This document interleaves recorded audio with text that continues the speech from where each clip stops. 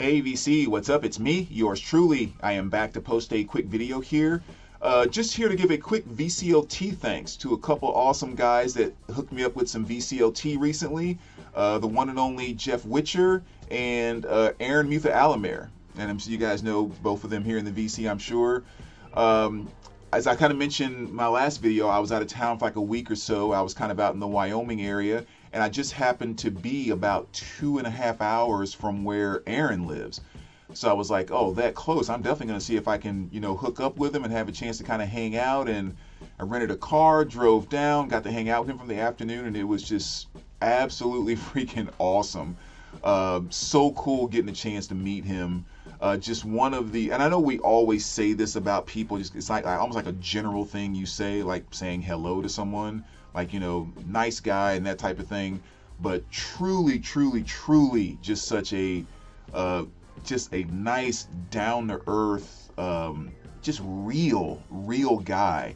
Um, you know just so accommodating so nice just you know it, it, was i just had an awesome time. And just aaron appreciate you so much hosting me. Uh, getting a chance to hit a couple record stores. We had lunch together but even more importantly, just having a chance to kind of hang out in the the Tipsy Tuesday music room and just, you know, hearing him spin stuff, introducing me to so many new bands. It's made my want list like this long now, and just all all kinds of great stuff. So Aaron, man, you're absolutely awesome, and I cannot thank you enough uh, just for being being as, as, as cool as you were, uh, really and truly and actually just maybe I kind of like want to take a moment to say that uh, even on kind of a, a, deeper level is because you guys know Aaron here in the VC and like I just mentioned Jeff Witcher, but then you know JC, uh, Chris Profe, uh, Gary over at Physical Format Rock and Roll.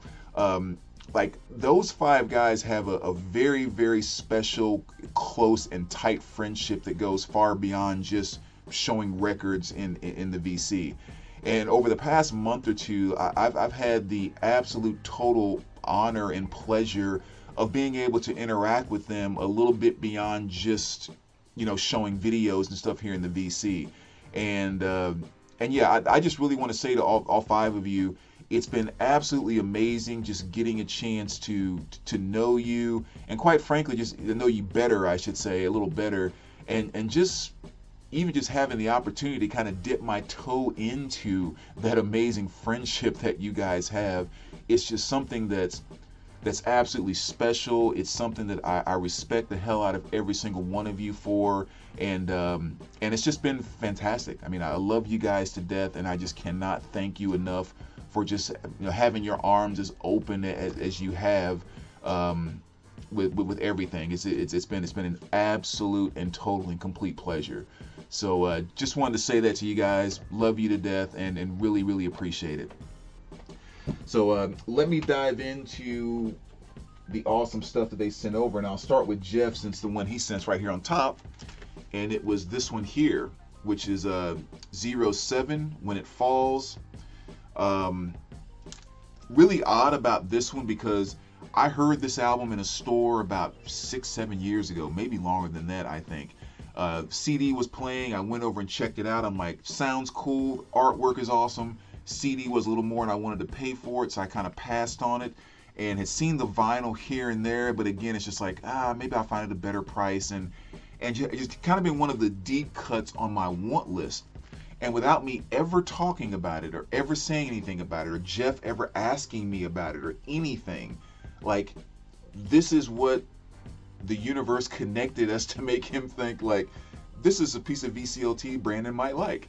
And it's like not only what I what I might like, it's just one of those again one of the deep cuts on my want list. Uh, so zero seven when it falls, very very cool. I literally laughed out loud when I opened the boxes. I was like, there is no way of all the albums that this is what he would have ended up picking to send over. So I've uh, wanted that for so long. So Jeff, thank you so so much, man. Um, you know, for those maybe that don't know them, kind of a kind of a jazzy, poppy kind of thing. Uh, to me, it has some R&B flavor here and there, kind of sprinkled in. Uh, but yeah, just a really creative album. Awesome, awesome stuff. So yeah, Jeff, we, we were definitely here on that. So I really, really appreciate that, man. Uh, and then a couple of things that Aaron hooked me up with. Uh, number one was this here, which is Orange, Orange Goblin, uh, The Wolf Bites Back. Uh, not an album that I was familiar with at all, and say Aaron hooked me up with this. It was kind of funny because we were in this store, and I know Aaron's kind of just starting to get into jazz, so I saw a Cannonball Adderley album, which is one of the ones that I say is a, one of the top 10 intro to jazz albums. So I picked it up, and then as soon as I paid for it, I was like, hey man, this is for you. Great album you should have getting into jazz. And he's like, oh, thanks, man, I appreciate it. Um, this is for you. And, and he had actually done the exact same thing with this Orange Goblin. I was like, oh, I didn't know you were grabbing that for me. Um, so we kind of had like a, a, little VCLT swap right there in the store that neither one of us was expecting. Uh, this is the, the, Wolf Bites Back. Uh, really cool, just kind of heavy, bluesy. Um, yeah, it's, it, that's kind of the best way to describe it. It's like a really, really heavy blues, not quite getting fuzzy, but definitely like really thick, uh, graveyard kind of kind of heaviness.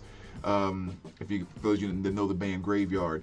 Um, but yeah, it was really really awesome. I, I spun the whole thing yesterday and really enjoyed it, especially the one song uh, "Burn the Ships." Like there was a couple of breakdowns in that song that were just really like, you know, just freaking awesome. So Aaron, thank you very very much for that one. Um, the next one here, a really cool compilation that he gave me which was a Welcome to the Metal Zone. Fantastic 2 LP set um, and a true metal compilation.